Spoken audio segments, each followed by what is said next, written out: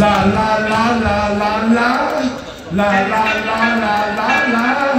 La la la la la la. Let me hear y'all.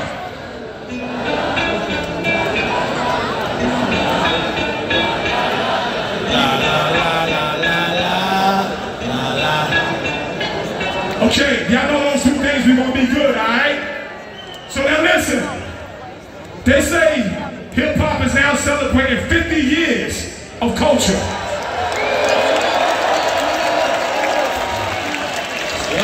As we know it started in New York City, but it spread all the way around the world. And me personally, I don't care if it's the East Coast, the West Coast, the South, or the North. The story remains the same for me. Wu-Tang